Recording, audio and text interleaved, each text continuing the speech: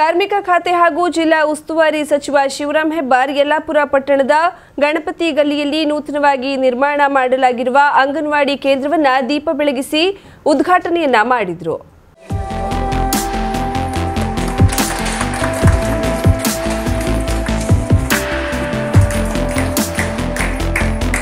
ಒಟ್ಟು ಹದಿನಾರು ಲಕ್ಷಗಳ ವೆಚ್ಚದಲ್ಲಿ ನಿರ್ಮಿಸಲಾದ ಅಂಗನವಾಡಿ ಕಟ್ಟಡವನ್ನ ಪಟ್ಟಣ ಪಂಚಾಯತ್ ಅಧ್ಯಕ್ಷೆ ಸುನಂದಾ ದಾಸ್ ಉದ್ಘಾಟಿಸಿದರು. ಈ ಸಂದರ್ಭದಲ್ಲಿ ವಿಧಾನ ಪರಿಷತ್ ಸದಸ್ಯ ಶಾಂತಾರಾಮ್ ಸಿದ್ದಿ, ಲೋಕೋಪಯೋಗಿ ಇಲಾಖೆ ಎಇಇ ವಿಎಂ ಭಟ್, ಪಟ್ಟಣ ಪಂಚಾಯತ್ ಹಾಗೂ ಪ್ರಮುಖರಾದ ವಿಜಯ್ ಮಿರಾಶಿ, ಪಟ್ಟಣ ಪಂಚಾಯತ್ ಸದಸ್ಯರಾದ ಪ್ರಶಾಂತ್ ತಳ್ವಾರ್, ಸತೀಶ್ ನಾಯ್ಕ್, ರಾಜು ನಾಯ್ಕ್, ಗೀತಾ ದೇಶಭಂಡಾರಿ ಹಾಗೂ ಮಹಿಳಾ ಮತ್ತು ಮಕ್ಕಳ ಅಭಿವೃದ್ಧಿ ಇಲಾಖೆಯ ಅಧಿಕಾರಿಗಳು ಉಪಸ್ಥಿತರಿದ್ದರು.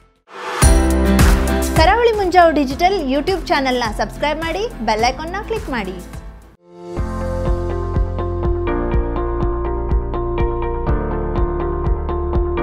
ಗಣೇಶ್ ಏಜೆನ್ಸಿಸ್, ಗೃಹ ಬಳಕೆ ವಸ್ತುಗಳ ಅಧಿಕೃತ ಮಾರಾಟಗಾರರು ಒಂದೇ ಸೂರಿನಡಿ ಎಲ್ಲಾ ಬ್ರ್ಯಾಂಡ್ನ ಗೃಹೋಪಯೋಗಿ ವಸ್ತುಗಳು.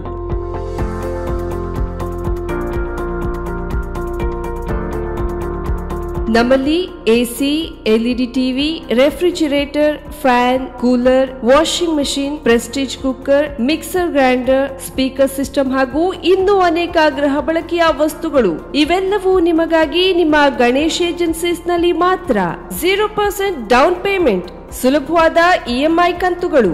ಹಿಂದೆ ಭೇಟಿ ನೀಡಿ Ganesh agencies, green street, main road, Karwar.